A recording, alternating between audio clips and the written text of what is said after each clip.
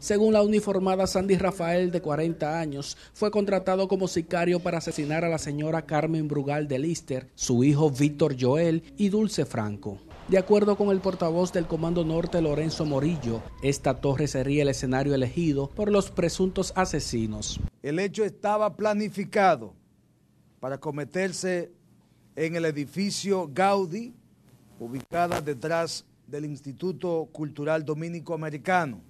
La policía además señaló que a Ceballos Hinoa se le encontró una carta manuscrita con la planificación del hecho y este fue apresado en Villa González.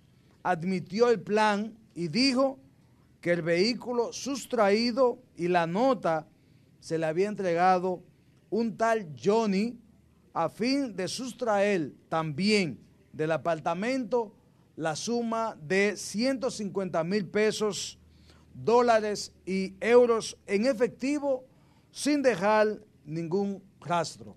El organismo informó que activa la localización de otras personas que presuntamente están envueltos en la trama. Junior Marte Noticias SIN.